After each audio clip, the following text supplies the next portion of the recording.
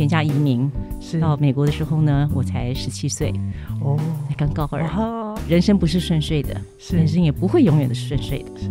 所以那个时候呢，这个老华侨骗新华侨，我哦。我们家的这个呃钱呢就莫名其妙的不见了，然后那个人呢也不见了。哦，所以我爸爸妈妈就说，我们呢为了要生存下去哈，只有选择看是加油站或餐厅。嗯。那爸爸跟妈妈呢决定就接下餐厅，嗯因为东西卖不掉，你们有得吃。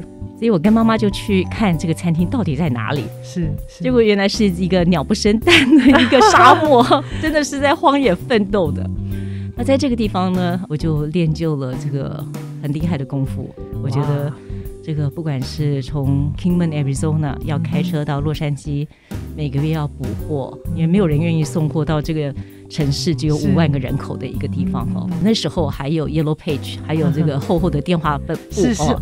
打电话给所有的这个看得到中文的这个旅行社，告诉他们说：“哎，你们哦要去那个拉斯维加斯，带人家要去赌博哈，或者是要到大峡谷，中间有一个地方叫 Kingman Arizona，嗯你们可以到那里去吃饭，饭那里很不错。”所以就这样慢慢慢慢的一车一车的人来，哎，这个餐厅变成是还不错的一个中继站，那大概是我最棒的一件事情。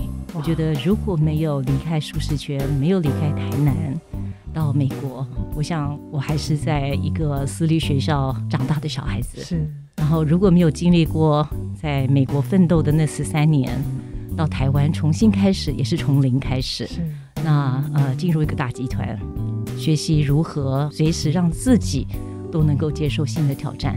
我想那些都是我的养分，才能够让我到后来觉得接巨城这个废墟，大家都不看好的一个废墟，我觉得是可能性应该是很高的。那最低潮的时候，就像刚刚主持人讲的，每一个转折，你都把它变成是一个起点，是。那么亮点就会离你不远。哇。这个是真的是经过了这十几二十年哦，呃，从一个会计人到最前线做企业客户的业务，到一般客户，到能够去整合客户跟我们的客服中心、业务跟客服中心，所以门市跟打电话进来的时候都会是一样的这个讯息。是到后来到行销、产品开发，是那我觉得都是人生的历练，也就是把每一次的一个任务都当做是一个很棒的一个起点。